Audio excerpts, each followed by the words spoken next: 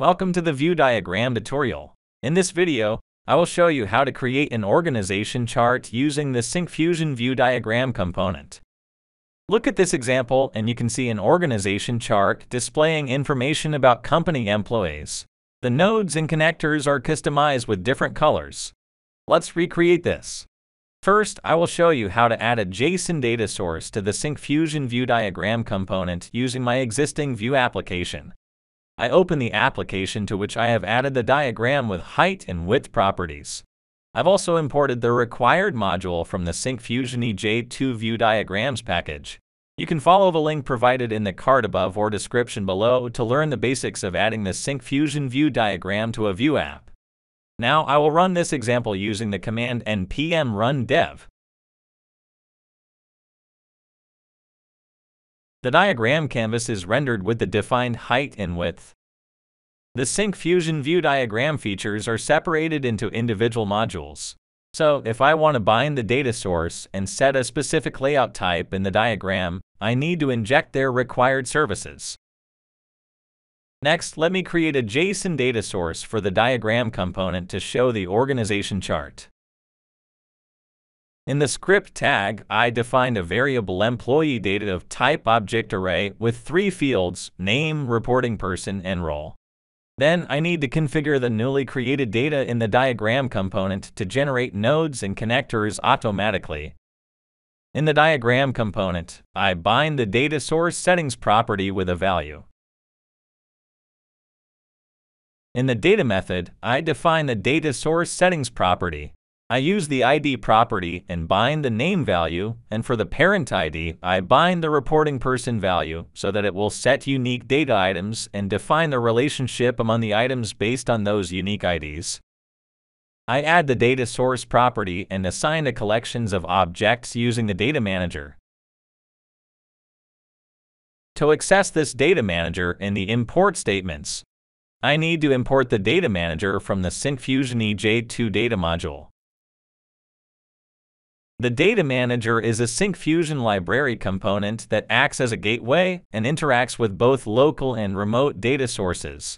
It provides functionalities for operations like creating, updating, deleting, and querying records. To render the organization chart, from the Syncfusion EJ2 Vue Diagrams package, I import the Data Binding and Hierarchical Tree modules. The Data Binding module helps to generate diagrams from an external data source, and the hierarchical tree module helps arrange the objects automatically in an organizational chart. To inject these modules in the export default scope, I use the provide option pass diagram as the key and data binding and hierarchical tree as values. I save the file and in the diagram canvas, you can see the nodes are rendered without a proper layout.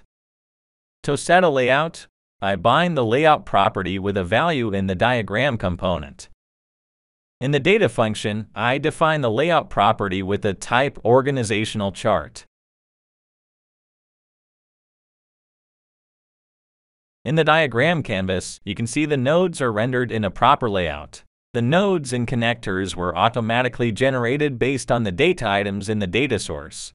But if you look at the nodes, the employee names are not shown. To display the employee names, I need to set annotation content for the node. To do so, in the data source settings property, I define the do binding property and create a function that receives a node model and data as arguments.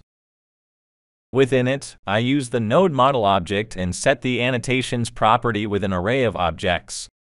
Within the object, I create the content property and assign the data object's name property. In the diagram canvas, you can see the nodes with names. Let me add the roles in the nodes too. In the annotations collection, I add a new object and set the content property with the data object's role property. Now you can see the contents overlap. To avoid this, I add an offset value to both annotations. This will separate the content rendering positions within the nodes. Now you can see the annotations were rendered properly. Let me change the style of the node. I use the node model's style property and set the fill property with a value, letting the stroke width be 0 so that no borders will be shown in the nodes. To change the annotation's color, I use the Style property and set the color property to white. I do the same for the second annotation. In the diagram canvas, you can see the nodes with custom styles. Next, let me resize all the nodes to look even. In the diagram component, bind the getNodeDefaults property with a value. In the data function, I implement the getNodeDefaults property with a function by receiving a node parameter. I set the node's height and width properties with appropriate values. In the diagram canvas, you can see all the nodes were set with the provided size. Looking at the connectors, though, they are not properly aligned. To align them properly, I need to set a type for the connectors. In the diagram component, I bind the getConnectorDefaults with a value. In the data function, I define the property get connector defaults and assign a function that receives an argument connector. Within the method, I set the connector's type property with the value orthogonal. Now you can see that the connectors are aligned properly. Let me change the style of the connectors.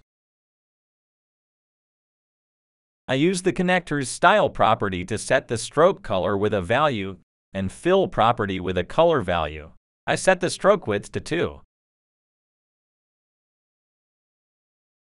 In the diagram canvas, you can see the connector line styles were customized. Next, I'll do the same for the target decorator. I use the connector's target decorator property and set the style with the same color values. I have customized the fill and stroke color values.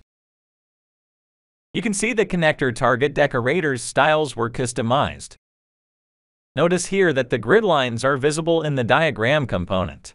To display the diagram canvas without grid lines, in the diagram component, bind the snap settings property with a value. In the data function, implement the snap settings property and set the constraint as none. You can set the constraints property as all, show horizontal lines, show vertical lines, and many more. Note that the Snap Constraints module has been imported from the Syncfusion EJ2 Vue Diagrams package. The diagram canvas now displays without grid lines. Next, I will show you how to render an organization chart from a remote data source. This is the structure of the remote data source. The ID value represents the unique value of the records, the label property holds the name of the employees, and the parent ID property holds the reporting person information in the organization. I'll map these details to the data source settings of the diagram component. In the ID property, I set the value ID, and in the parent ID property, I set the parent ID property. In the data manager, I pass the URL of the remote data source and set the cross-domain property to true to allow cross-origin domain requests. To display the label property in the nodes, I change the content property value to get the value from label property. I remove the offset code and the additional annotation object. You can see the organization chart rendered with nodes and connectors from a remote data source. In this video, we saw how to populate JSON and remote data sources in the Syncfusion Vue Diagram component to render an organization chart. We also saw how to customize the nodes and connectors.